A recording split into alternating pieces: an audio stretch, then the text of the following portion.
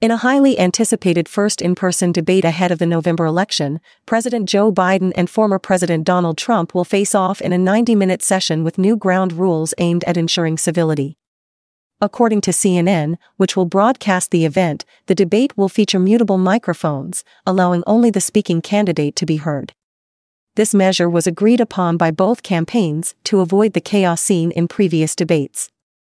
Set for June 27 in Atlanta, Georgia, the debate will have no studio audience, adding a stark contrast to past spectacles.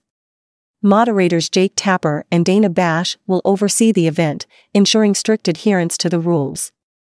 Each candidate will stand at a uniform podium, with positions determined by a coin flip, and will be allowed only a pen, a pad of paper, and a bottle of water.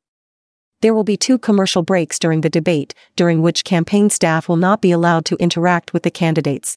This format aims to facilitate a more structured and focused discussion on key issues, differing significantly from the tension filled encounters of 2020. CNN emphasizes that the moderators will use all tools at their disposal to maintain order and ensure a meaningful exchange of ideas. The second debate between Biden and Trump is scheduled for September 10, hosted by a